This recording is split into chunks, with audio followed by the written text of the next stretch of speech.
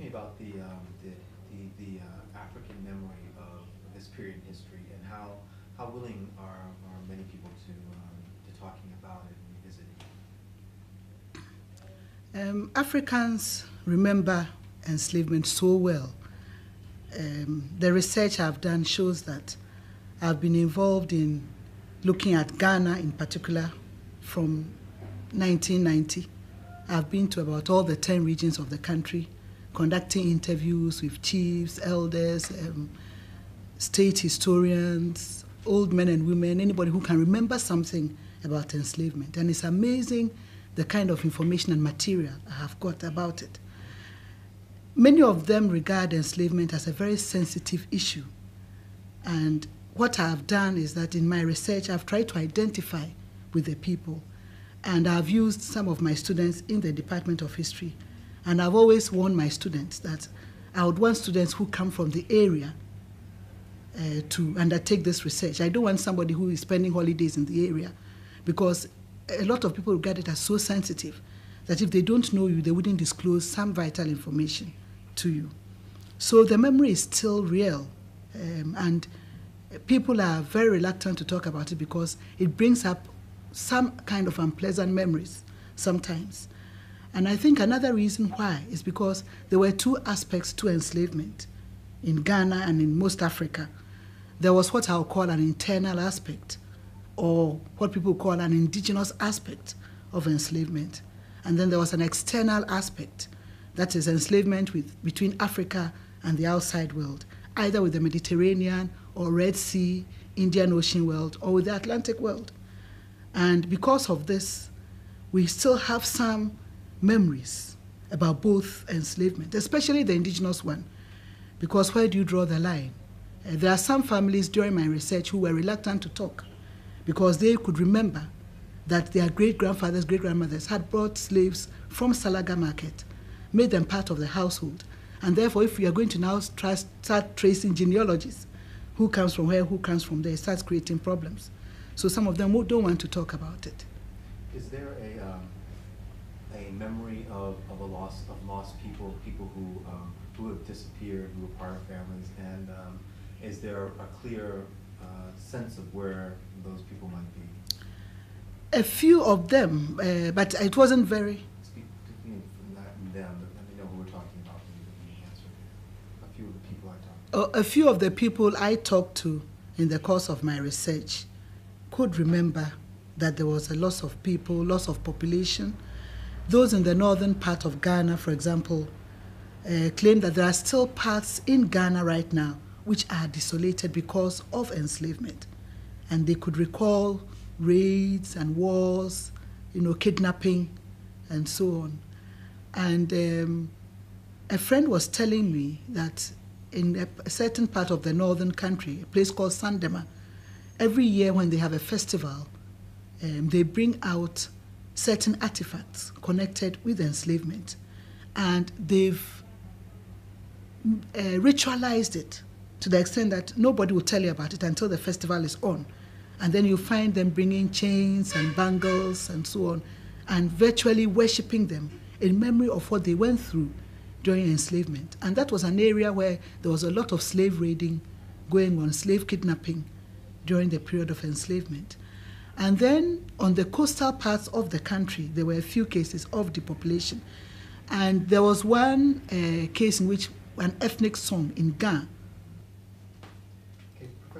talk to me about, um, and back, in, looking back in time, um, how did the trade uh, operate? Um, how were people captured, and what happened to them once they were captured?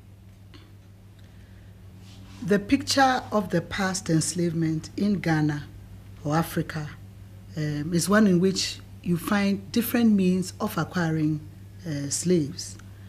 I can identify about five major means of acquisition. The first was through warfare, and that was really a major means of acquisition. Now, I don't think we want to enter into that debate whether the wars were fought because of enslavement or were, enslavement was incidental to the wars, because there is still a disagreement. But what I have found in my own research as I talk to um, chiefs, elders, and so on, is that enslavement was incidental to the wars which were fought in Ghana. In other words, the wars were not expressly fought because they wanted to catch slaves, but there were several reasons for warfare expansion, conquest, retaliation, aggression, and so on. And if you look through the history of the world from ancient times, you find that it was a practice that whenever you engage in a war and you became victorious, you take away prisoners of war. And in, inevitably, these prisoners of war became enslaved as a result. So it became an ancient practice which was carried on through the modern period. And so if you look at Ghana history and African history, from about the 15th century to the 19th, early 19th century, you find warfare as one major means of enslavement. And it's very striking, especially when we come to Atlantic enslavement, um, because although warfare was a source of enslavement for both internal and external, you find that the external demand was so high that warfare played a very major role in it. And if you read some of the travelers' accounts and traders' memoirs, you find them mentioning sometimes that in the early 1700s, for example, there was a gentleman called Barbot, a French trader, and he said he had combed the whole of the coastline in Ghana and found only eight slaves from east to west. But two, three weeks earlier, because there was warfare, somebody had gotten about 200 to 300 slaves. And you find them expressing these things in their memoirs as you read. And they seem to be sad that there is no war. You know, so it created a very major means of uh, providing slaves. So the first was warfare. The second major means was what I'll call direct purchase. Um, there were several markets scattered throughout the continent and different parts of the country where people could go to and buy slaves. Now, I've realized as I've researched about the slave markets that people did not go, the markets were not solely for slaves, but there were other items also being traded in. But as you enter the market, you find places for foodstuffs, places for household wear, etc. And then you find perhaps a section of the market also devoted a trade in human beings. And I've been amazed in the course of my research to find that I've discovered at least about 35 of such slave markets in Ghana alone. And every region in Ghana had at least two or three slave markets. And what is significant about this is that, with respect to the indigenous enslavement, uh, the ordinary person could go to any of the markets and buy a slave or two for personal use. And so the markets were the commonest source of acquiring slaves so far as the indigenous system was concerned.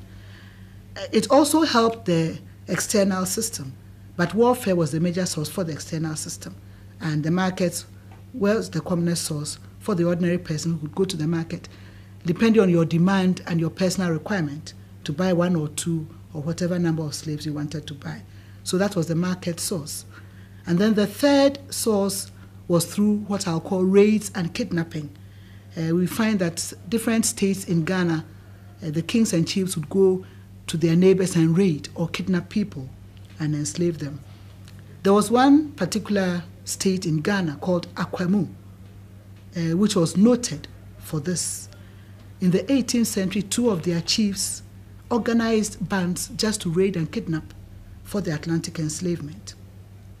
And there were reports that different parts of the coast in Ghana were also involved in raiding and kidnapping. And then the northern part of Ghana was also noted for a lot of slave raiding and kidnapping during the period of enslavement. So that was a third source. The fourth is what I'll call tribute. Tribute was when a state defeated another state and asked the defeated state to pay tribute. And in the past, normally you would look at what the state produced. For example, if it was a gold producing area, you would ask the state to provide maybe so many ounces of gold a year as tribute. Or if they produced yams or any kind of foodstuffs, you would tell them to produce a certain quantity a year. And during the period of enslavement, especially when the Atlantic enslavement was introduced, the picture you get is that instead of asking only for foodstuffs, some of the kings and chiefs would also ask for human beings as part of their tribute. And especially Asante was noted for this. And Asante, for example, would ask Salaga for about a thousand slaves every year, would ask some people from the coastal parts, Fante, Ga, to provide maybe another 500 or 300 slaves every year. So tribute was another means of enslavement. And the last means, I talked about five means, the last is what I'll call minor sources of enslavement. For example, if somebody owed a debt, he couldn't pay, he could be enslaved, or somebody was convicted of a crime, he could be enslaved, or sometimes through deception, people could be enslaved through deception. But these were very, very small instances of enslavement. Describe for me, give me a portrait of the kinds of people who were uh, either captured or paid in tribute, uh, or, um, or um, even found themselves victims of raids, found themselves enslaved and were then um, part of the, the, the of people who, who traveled across the ocean to the Americas. Yes. The kind of people who were enslaved was a broad spectrum because normally, if it was war or raids or kidnapping, they would move into a town or a village and conquer and take all the people. And when you read the documents, you find statements like they've dragged all the men, women, boys, and girls away. Um, sometimes you find that they've left the older men and the older women, but they've taken the young boys, the girls away. So you find that it's the people in the prime of their youth who are usually taken. And it, sometimes it goes through a series of processes. First of all, you raid a group or you engage in warfare, you bring en masse to your home, that is your capital, thousands of prisoners of warfare. And then sometimes they go through sorting, um, looking at what the indigenous requirement is. So you look at what you have the men, the women, the boys, the girls, what your internal needs would be like. And then you decide that, well, for example, if you've got about 100 slaves and you have about 50 men, 50 women, or 25 men, 25 boys, 50, 25 girls, 25, you'll decide that maybe I'll leave 20, 24 in the state and send the rest away. Inevitably, what happened was that a lot of the younger people who were strong and who could work were those who were really demanded uh, during the period of enslavement because of the kind of work people wanted them to do. So your needs determined the kind of people you would take. So you find a broad spectrum of people young boys, girls, women, and men. And it is generally believed that Africans wanted more of the women than the men during the period of enslavement. So we have more women used internally and more men sent away on enslavement. But it also included women. Were the demands or the interests of the Europeans and their own needs for a workforce a part of whether um, men or women were the, the dominant group sent overseas? Yes, it was the external demand which created the kind of um, people they wanted. Um, they wanted both men and women, but the preference was for men because the, most people wanted them to work in the mines, uh, to work in the fields, and to do what people call the hard, back-breaking work. And normally they felt that it was the men who were stronger to do these things. So it was more of an asset to have men than women. And interestingly, as I go through this research, I found that for the Atlantic enslavement, the prices of men were usually higher than women. And for the internal enslavement, the prices of women were higher than men. So if you went to the slave markets, for example, you find that if there are men and women, the prices on women were always higher than the men because of the internal demand. And when the slaves moved to the coast to be shipped across the Atlantic, the men would put a higher price. Um, the European and American merchants would put a higher price on the men than the women. And so that was the nature of the work uh, determined uh, the men and women you wanted, or the boys and girls you wanted. Was there a, a, a great difference between what you call the external slave uh, enslavement and internal enslavement? And, and, if there is, talk to me about the differences. Oh, there was a big difference. Um, uh, let me say that there were some similarities and differences between the two systems.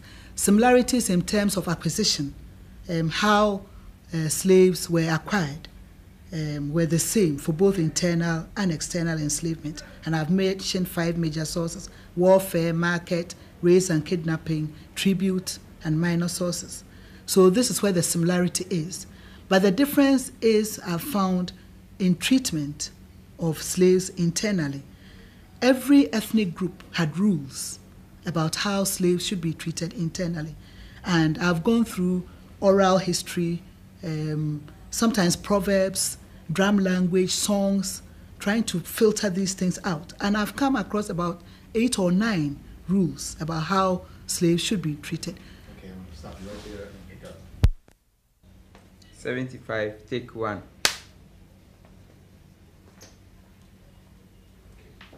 Okay, um,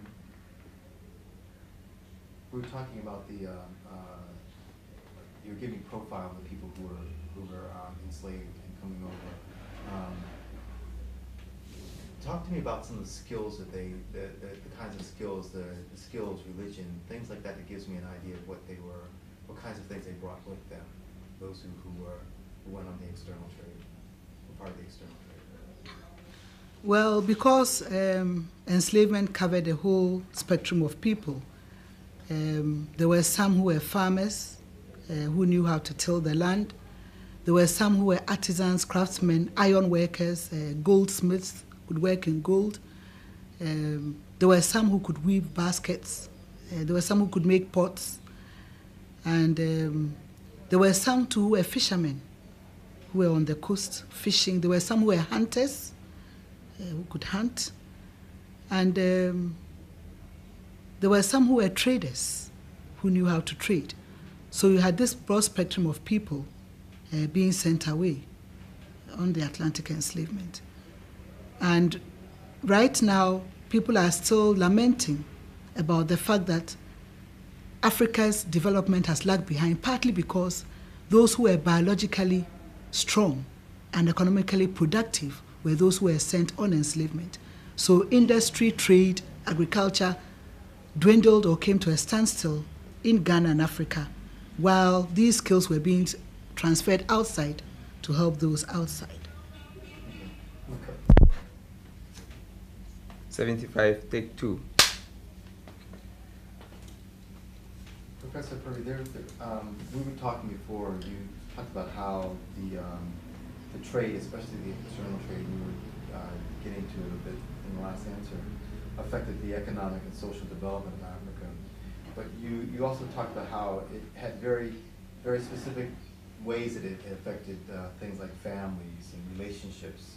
And, um, um, and it created a whole era of fear and suspicion around the Atlantic trade. Talk about that and what the impact of the trade on, on Africa, especially this part of Africa. Yes, um, there were several effects of the Atlantic enslavement on Africa, and especially in Ghana. One of the glaring effects was that of depopulation in several parts of the country. Because there was increased warfare, increased raiding, increased kidnapping, we have different parts of the country being depopulated and desolated because of this. And then, because of the increased raids and kidnapping, there was also a lot of insecurity and fear during the period of Atlantic enslavement because you wouldn't know what would happen when you go to bed in the night or what would happen if you are going on your way to trade because there were people who were kidnapping both during the day and in the night. Some would lay ambush just because of the Atlantic demand.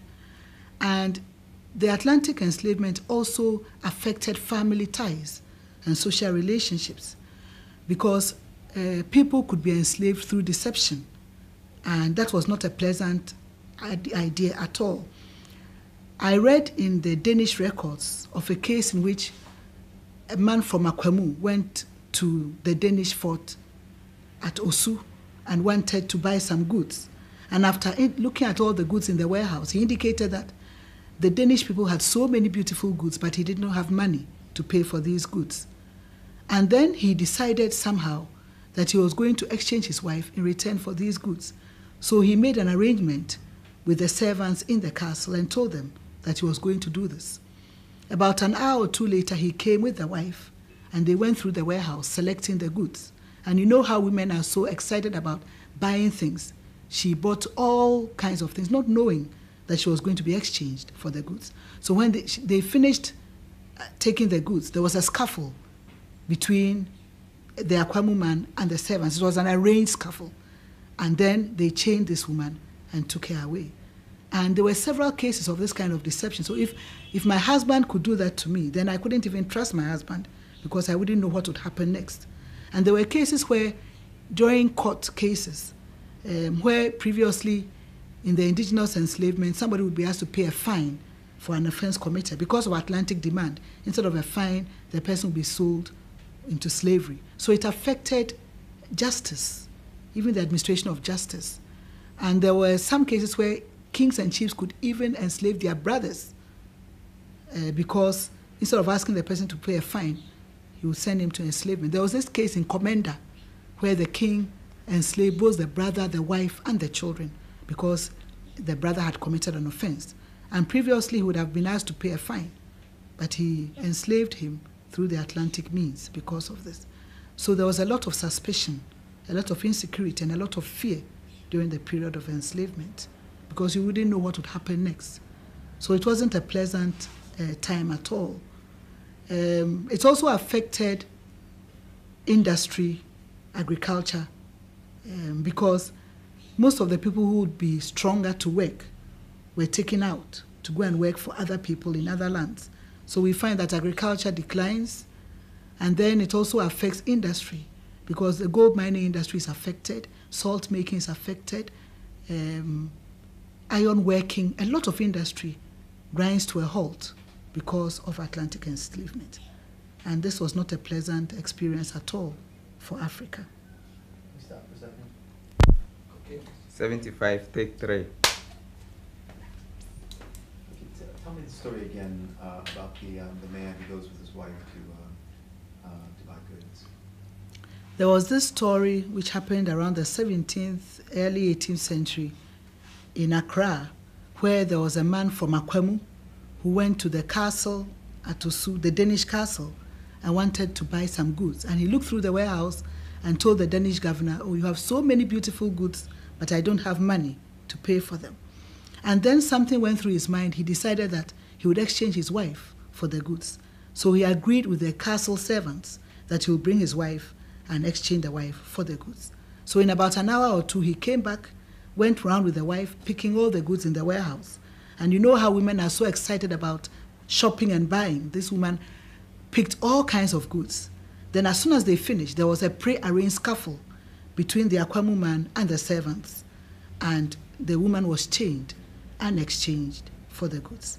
So, this kind of deception, if a man could do that to his wife, then it meant that during the period of Atlantic enslavement, you could not trust anybody. You could not trust your husband because you didn't know what would happen. You know, so this was the, a period of real mistrust, suspicion, and fear. Um, cut for a second. Rolling. Mark. 75, take four. Um, talk to me about, uh, about guns and gunpowder, and how, um, that became a major element within the trade, and how it began to transform the nature of the trade on, in this part, and also the landscape and, and, and power relationships in, in this area as well. Guns and gunpowder um, played a very important role in Atlantic enslavement, especially from 1650 onwards. And this is where you find the impact because if you look at what was happening during the Atlantic trade, 15th, 16th century, um, you wouldn't find so many people being enslaved. The numbers were few, and the warfare was not so rampant or insistent. Then in 1650, guns and gunpowder are introduced into Africa and Ghana, and you find suddenly increased warfare, state expansion, strengthening, retaliation, and definitely the more power you had, the stronger you had, you were, you were able to prey on the weaker people. So we find that some states, the states which were able to buy more guns and gunpowder, expanded, were stronger, preyed on the weaker ones, and the states which were not so wealthy to buy the guns, guns and gunpowder became the victims. So we have states, for example, like Asante, Akwamu, Dahomey, growing stronger and stronger during the period of Atlantic enslavement. And then we have some states in the northern part of Ghana, um, especially the states which were regarded as what the sociologists called acephalous, who didn't have centralized states, the Dagati, the Grushis, the Lobis, Kusasis, being preyed upon because they didn't have the weapons. So guns and gunpowder was a very important phenomenon during the period of Atlantic enslavement. The more guns and gunpowder you had, the stronger your base, and you could launch any attack because you were more powerful. Because at that point, those in the, some states in the northern part of Ghana were using bows and arrows. So if I had a gun, it would be it would work faster and do achieve much more than the person who had bows and arrows. So the people in the north were real victims during this period of Atlantic enslavement. There, we have very, we have a few testimonies of, of, of, um, of actual capture and, uh, uh, in, in Africa. And one of them is Equiano's story. Mm. He tells the story of kidnap. Mm. How would that, a kidnapping like that work? Um, in, in, I know he, he gives us an example, um, but how is it similar to what you found in terms of, of, of that, that type of, of, uh, capture? Kidnapping could have been of various forms. Um, it could be during the day, it could be in the night. And sometimes you'd be going out to trade, for example, and there will be people who had laid ambush solely to kidnap. So you could be caught while you are on your way to trade, or you are on your way to the farm, and you find that somebody has laid ambush, he catches you and runs away with you. In the night, it was even worse. So um, you find some of the records indicating that people would want to stay in the house in the night, were afraid to go out, because if they could do that during the day, it was even worse in the night time. So it, Okay, talk to me about the impact of kidnapping, how it began to change people's lifestyles. because of the Atlantic demand for slaves, there was a lot of kidnapping also going on in Africa, especially in Ghana. And kidnapping could be any time of the day. It could be daytime, it could be in the night. You could be on your way to trade or to farm, and you could be kidnapped because some people would lay ambush to kidnap. And because of that, there were times when many people were afraid to go out in the night because it was worse during the night. You wouldn't know who was laying ambush uh, to kidnap you. So as you, as you read some of these documents, you find a lot of fear expressed in people's lives during the period of Atlantic enslavement. And you find comments like, nobody dares go out during the night in this part of the coast because of fear that they may be kidnapped into slavery. And kidnapping went on in almost every part of Ghana, especially in the coast and in the northern part. Three years ago, uh, during my research, I was talking to somebody in one of the archives um, in Brong-Ahafo called Sunyani. And I was talking about to him about my research and what I was doing. And then I mentioned kidnapping and so on. And then he said, My grandmother was kidnapped into enslavement.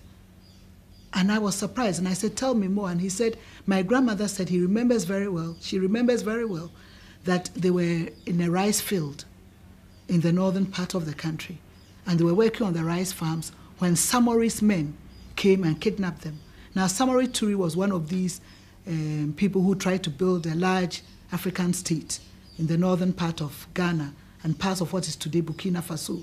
And by doing that, he also got involved in a lot of slave raiding and slave kidnapping. And he said he remembers, she remembers very well Samori's men kept kidnapping a number of them when they were busy on the farm and bringing them to Ghana.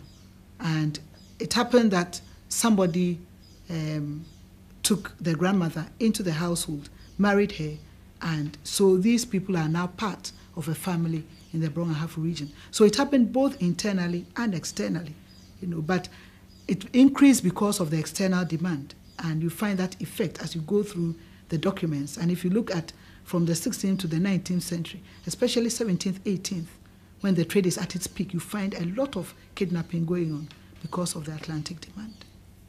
Um, I mean, following up on that, uh, you, you talk at, times about songs and drum language and things like this that are associated with the trade. Do you, have you ever recovered, have you recovered songs or, uh, or things that are laments to these people who have disappeared, because probably every village, every family might have a story of someone who might have disappeared in the past. right? Yes, um, you have songs, uh, drum language, both from the state and from families. Uh, some families remember uh, loved ones they've lost.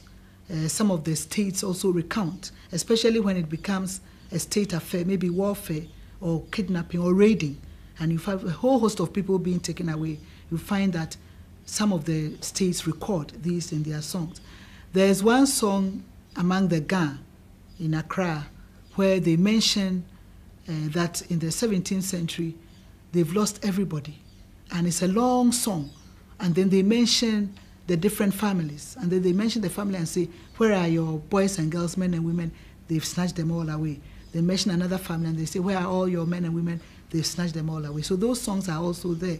Then you find some of the drum languages uh, mentioning this. Um, in fact, some of them not only mention the loss of people, but they also show where they come from.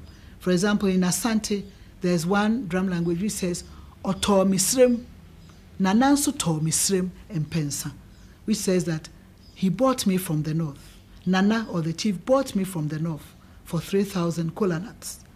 So it also talks about how they were acquired and sometimes how they were treated. And then we have a lot of proverbs and sayings about how slaves were treated internally. And you get this from proverbs, you get this from songs, you get this from drum language and so on about the treatment of slaves in the internal system. So, uh, 76, take 3. Let's pick up with the difference between the internal and external trade. Give me uh, examples of similarities as well as the differences. Um, the main similarity between the internal and external enslavement was in terms of how slaves were acquired. Um, the acquisition was the same warfare, market, race, kidnapping, uh, and so on. But in terms of treatment, this is where the difference lies. But in, terms of treatment, there's a big difference between the internal and external enslavement. In the internal enslavement, there were rules, traditional rules about how slaves should be treated. And every ethnic group had the rules. And I've tried to sort out a few of these, and I can mention a few of these things to you. The first traditional rule was that any slave that entered into a household had to be made part of the family. And so the slave was made part of the family in the African traditional sense of the word. Now, it could be done in several ways, either through adoption of the slave or through marriage of the slave. If the slave was a female, it would be through marriage. If it was a male, it would be through adoption. And there were some people who, um, especially women who could not have children, who would go to some of these slave markets to buy children and adopt and make them part of the family. So that was one, making the slave part of the family. And then the second was that every slave was entitled to food, clothing, and shelter. So you had to treat your slave as you would your child or you would your brother or sister who was staying with you. The third rule was that every person who had a slave, the owner had to be approachable or accessible. And there were proverbs connected with this. And then sometimes they would say that you should also be able to train and discipline your slave as you would your own child. And there were sayings about this. One of this, which I like so much, was that if you fear to reprimand your female slave, you eat dirty food. So, in as much as you want to make the slave part of your household, provide all the necessities, you also have to train and discipline the slave when necessary. And tradition also talks about punishing your slave if the slave did wrong. But an important point to note about punishment was that in Africa and especially in Ghana, no slave owner had the power of life and death over the slave. It was only the king or chief who had power of life and death, not only over the slave, but over every citizen in the state. So when it came to issues like human sacrifice, for example, it was only the kings and chiefs who performed sacrifices. It wasn't any ordinary person who did it, because they had the power of life and death. And as I go through these research materials, I found that any person who maltreated his slave to the point of death faced the traditional courts and was punished as a result of that because the rules did not allow power of life and death over the slave. And then a slave could marry, he could marry his owner or could marry the owner's relations, and there were rules about how the ceremony should be performed, how it was recognized legally, and so on. And then um, a slave could also acquire, inherit, and own property. And then a slave could also be a king or chief when the suitable heirs uh, were not ripe to inheritance too.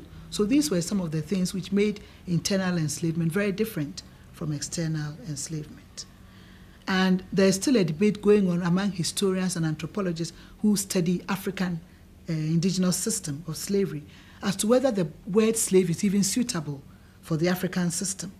And you find people are suggesting now that if you are studying a particular African area, look at the word which is used, the indigenous word for slave, because it will bring up all the idea of treatment, um, how you want the slave to live with you, how you regard the slave, more better than talking about an English word which says slaves, which brings all kinds of ideas and connotations. So for the, for the, for the African who was captured and enslaved and then sold um, at the castles to, for a journey across the sea, what are their expectations that they will have, what they will exist in a world that they know, an enslavement they know? Yes, I think um, those slaves who were sent to the castles to be shipped across the Atlantic would have a faint idea of what will be happening across the sea. From what we know in our internal system, they'll think that they're going to be treated the same way. Uh, they're going to be made part of the family. They could inherit and acquire property, they could marry, and so on. And I'm sure many of them got a shock when they went out. And the journey began, if you look at what happened in the castles, which was purely an European administration, you find that that is where perhaps some of the slaves will get their first cultural shock because they realize that right in the castle is a different administration from what happens outside the castle in the African internal state system. And I've realized also that if many of those who went out, that is across the Atlantic, were able to come back to tell their story, perhaps the reaction of the chiefs and people to enslavement would have been different. Because hardly anybody came back to tell the story. Some who came back came during the period of abolition, when there was a lot of hue and cry already about stopping the slave trade. So those who came back to tell the story came at a time when a lot of harm had already been done. But when the harm was being done, if the kings and chiefs knew that the treatment was different, perhaps the attitude would have also been very different. I read a portion, uh, an interview between one of the Asante chiefs and somebody who went to Asante in 1817. And the Asante chief was called Osei And he was asking why the Atlantic enslavement had been abolished. It had been abolished by Britain in 1807, and this was 1817, and he was beginning to feel the impact because Asante was still engaged in a lot of warfare. So the problem was, what do I do? I want, I want to pick that up. Mark. 77, take one. Okay, let's pick up with, we were talking about people not coming back to tell, and you were about to tell me a story, an Ashanti story. Yes. Um, in 1817, um, there was this British traveler to Asante, and he spoke to the Asante at that time called Osei Bonsu. And Osei Bonsu was asking why the British had abolished the Atlantic enslavement. Uh, Britain had passed a law in 1807, and this was 1817, and Asante was beginning to feel the effects of the Atlantic enslavement abolition because Asante was still engaged in a lot of warfare, so there were still a lot of prisoners of war. And this is where you see the relationship and the effect of Atlantic enslavement, because it would have been an easy access. You know, there would be access on the coast for all these slaves to be shipped. Now Asante was torn with what to do with all these prisoners of war. And then this envoy tried to explain to the Asante that we stopped because he looked at the humanitarian reasons. It was bad, it caused warfare, it did this, it did that. And the Asante chief was very surprised. He said, Oh, did you know this all along when we were involved in this trade all these years? But we didn't think it was bad. And then he brings out what our internal system and understanding is about enslavement. So it meant that when the two people were involved in the trade, both of them had a different idea of what was happening. So for the African, he knew the internal indigenous system and he thought it was the same system which was being followed elsewhere. So that was the first time in 1817 when the trade had been abolished 10 years ago, that the Asante Nehemia was even made aware of the differences between the two systems. You said to, you were saying just earlier that um, probably at the fort, it's the first time the African began to realize this was mm something different. Mm -hmm. um, try to give me some specifics in terms of the kinds of things that would kind of stand out. Suppose a whole family's been captured, kidnapped, brought down from the north, you know, traveled all the way together down to the castle what would they encounter in the castle that would suddenly let them know that this is not going to be the same situation? They're not going to be inherited into, taken into a family and become a part of a clan, but things would be severely different. Well, if whole families are taken, for example, from the north to the coast, one of the things which will strike them is that they'll be separated. And the separation would at once tell them that something is happening. Because most people who would have families would want to keep them. Because in the African sense, the more families you had, the larger the family, the better. And in terms of labor, in terms of wealth, in terms of prestige. So you wouldn't separate families, you would keep them because they were an important asset. Now you get to the fort and castle, and the first thing which is done is separation. You are not regarded as one family anymore. Uh, you are separated. Father, mother, children are all separated. And that will be the first thing. The second thing, perhaps, which will surprise some of them, would be maybe the way they are treated in terms of harshness or in terms of even food that they are given. Um, I'm sorry, Chris, I cut you. Sound, sound is rolling. 77, take 2. Talk to me about a family coming down from the north. What would they encounter at the castle? Why would they know, once they arrived at the castle, things were going to be different? If a family is brought down from the north, for example, to the coast during the Atlantic enslavement, one of the first cultural shocks they would have would be separation. In the internal system, the more people you had, the better it was. So you wouldn't separate families who have been enslaved because you needed them. You needed them for social reasons, for prestige, and so on. Now, the, a family gets to the castle, and one of the first shocks is that they're going to be separated. They're not going to be recognized as one family. They're going to be recognized as any other individual human being. And perhaps another second shock any family which gets to the courts and castles will experience will be in terms of how they are treated. Because in the internal system, we've mentioned how uh, slaves were supposed to be treated in terms of food, clothing, shelter, uh, caring for them, making them as part of your children. And they'll realize at once that there's an impersonal aspect to their treatment. Perhaps even the food they are given may not be enough. Perhaps they will not be properly clothed. Maybe the same clothes they wore on their way will be what they'll be wearing. And so they'll find that they are in a different world altogether in terms of treatment, how they are cared for, uh, what the concern of the new owners are. And I'm sure that would have given them a sign that they are in for something very, very different. And of course, if they are shipped across the sea, we know the story already. The experience in the ship, the long journey, and what happens outside, it's another further cultural shock. And what um, saddens me about this whole thing is the fact that people cannot come back to tell the story. They come back when it's very late, when abolition is in the way, to tell the story that this is very, very different from what we know. Um, I have had some kind of cultural shock myself personally. In 1993 94, I was in the University of Texas in Austin, US, for one year, doing some research from the American sources because I had done a lot on the Ghanaian sources. I had been to London to look at British sources. And I was looking at the American sources. And from my experience in the indigenous system, I had an idea of how indigenous enslavement was like. And as I read through these American sources, sometimes I felt like closing the books because I couldn't take it any longer. And I couldn't reconcile. And sometimes I had to go back a few days and strengthen myself emotionally and come back and say, now you're a historian. Look at the facts as they stand, you know, and then go through this. And I found some of the students who come from the US, every summer we have some summer schools and programs for them. And I find that when I tell them about the indigenous system, they also get confused because they are used to a certain kind of system outside. And I have a lot of questions trying to understand the internal system. So they too were really different. And I think it's important to recognize this as we talk about slavery in Africa. Okay, thank you. Uh,